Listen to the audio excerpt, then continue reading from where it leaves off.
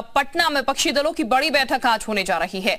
मोदी सरकार के खिलाफ विपक्ष की गोलबंदी। 2024 में मोदी के मुकाबले की बनेगी रणनीति। 20 विपक्षी दलों के नेताओं का पटना में जमावड़ा, अखिलेश यादव, दिल्ली सीएम केजरीवाल रहेंगे मौजूद। इसके अलावा राहुल गांधी, मल्लिकार्जुन खड़गे शामिल होंगे। पश्चिम बंगाल सीएम ममता बनर्जी पटना में मौजूद रहेंगी।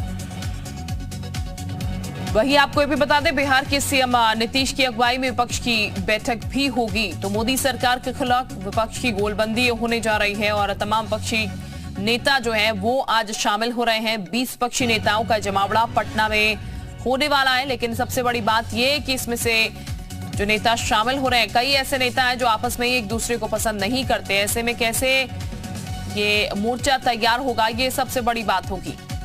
तो मोदी सरकार के खिलाफ ये विपक्ष की गोलबंदी है, जो कि आज पटना में होने जा रही है। दिल्ली में बात बनेगी, नहीं बनेगी, देखना होगा। 2024 में मोदी के मुकाबले के लिए रणनीति तैयार हो रही है।